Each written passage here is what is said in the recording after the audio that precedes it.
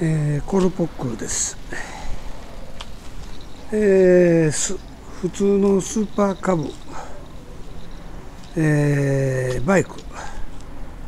に対応の屋根を改造しました、えー、電動ワイパーも、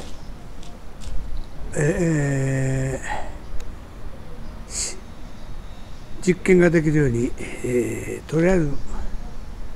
バッテリーをつないでおります。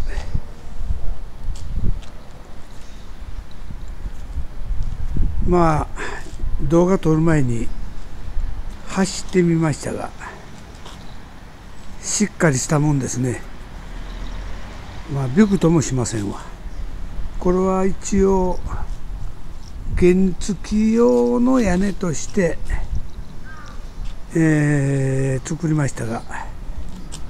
うん、まあまあ125ぐらいでも十分いけますね。ただし原付以上のやつは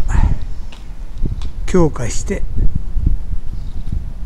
作る予定です。